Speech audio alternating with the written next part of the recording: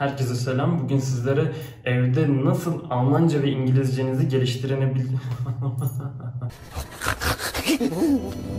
Herkese selam. Umarım iyisinizdir. Bugün sizlere evde bir dili nasıl öğrenebileceğinize dair 10 tane taktik paylaşacağım. Bunların hepsini Almanca üzerinde deniyorum. Daha önceden de İngilizce üzerinde denemiştim ve çok fazla faydasını görmüştüm. O yüzden sizlerle paylaşmak istedim. Ee, hadi hep beraber bu 10 taktiği görelim.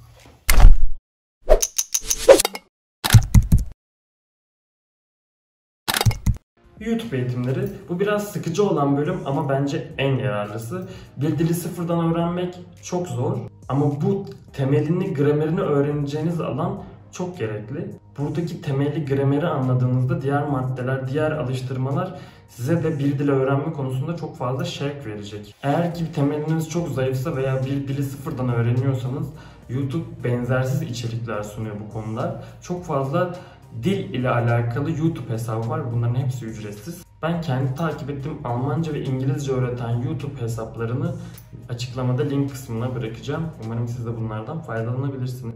Instagram hesapları bu madde burun kıvrılacak gibi gözükse de şiddetle önerebileceğim bir madde. Çünkü şimdi teknoloji çağındayız. Sosyal medya hepimiz için vazgeçilmez bir tutku haline geldi. Dolayısıyla Instagram gibi sosyal mecralarda da dil pratiği yapabileceğiniz hesaplar ortaya çıktı.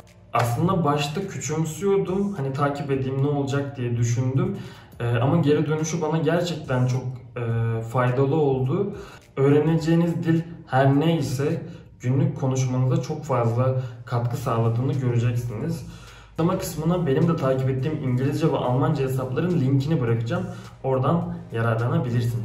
Telefon dili bence bu elimizden telefonu düşürmediğimiz çağda yapabileceğimiz en iyi pratik yolu. Sonuç olarak siz telefonun birçok özelliğini, neyin nerede olduğunu ezberlediğiniz için oradaki terimleri Almanca, İngilizce ya da hangi dili öğrenmek istiyorsanız o şekilde görmek sizin de görsel dil hafızanızı güçlendireceğini düşünüyorum. Ben bu maddeyi de şiddetle öneriyorum.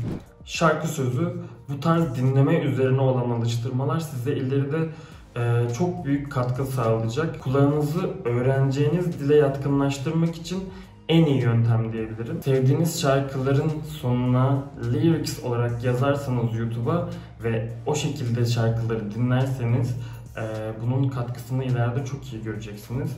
Ben her sabah Rammstein ile uyanıyorum. Bence Almanca için mükemmel bir grup diyebilirim. Şarkı sözlerinden ben Almanca sayı saymayı öğrendim. Neredeyse de tüm şarkılarını ezbere biliyorum diyebilirim. Size de sevdiğiniz şarkıların sözlerini ezberlemeyi tavsiye ederim. Uygulamalar. O kadar güzel uygulamalar var ki bunlardan favorim Duolingo. Ee, Duolingo'yu öneriyorum çünkü e, metodunu beğeniyorum. Bir dili her şekliyle öğretiyorlar. Aslında bir alıştırma uygulaması gibi bir şey. E, temeliniz varsa e, çok tatlı alıştırmalar ile pekiştiriyorsunuz bu bilgileri. Onun dışında Busu ve Memrise Almanca için önerebileceğim diğer uygulamalardan. Podcast bu da ikinci dinleme alıştırmam aslında. Tabii bunları anlamanız için birazcık temelinizin güçlü olması gerekiyor. Ama müthiş bir dil geliştirme, dinleme geliştirme tekniği olduğunu söyleyebilirim. Bunları Spotify'da veya Apple Podcast'te arama kutusuna öğrenmek istediğiniz dilin başına learning getirerek bulabilirsiniz. Learn English ya da Learn Deutsch gibi. Herhangi bir hobinizi yaparken, yemek yaparken ya da uyumadan önce fark etmez dinleyebileceğiniz müthiş podcastler var. Ben kendi dinlediğim podcastleri yine açıklama kısmında linklerini bırakacağım. Umarım siz de bunlardan faydalanabilirsiniz. Dizi, Netflix, öğrenmek istediğiniz dili kesinlikle altyazı olarak ekleyin ve bunun müthiş faydasını göreceksiniz. Netflix and chill yaparken binge eating modunuz yüksekse ice cream, chocolate and chips yanınızdaysa mutlaka ama mutlaka altyazıyı öğrenmek istediğiniz dil olarak ayarlayın.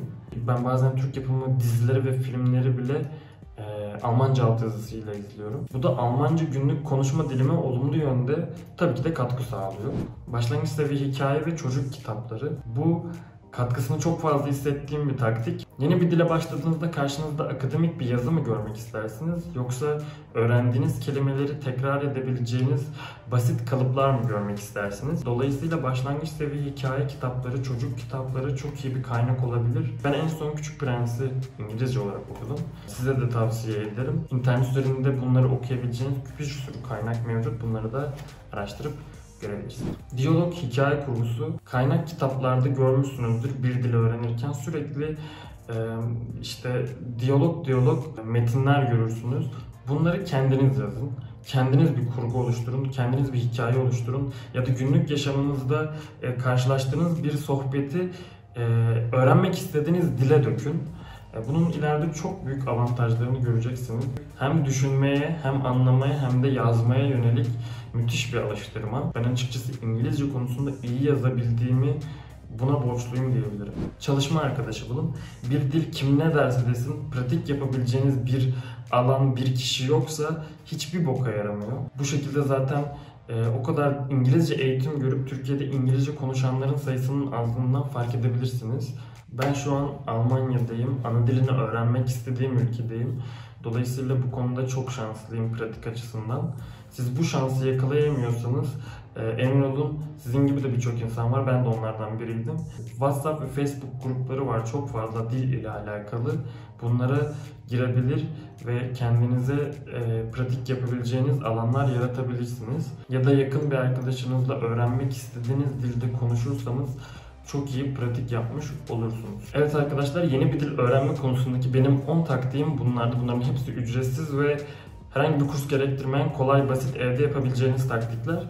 Sizin de bu tarz taktikleriniz varsa yorumu bırakabilirsiniz. Hadi görüşürüz.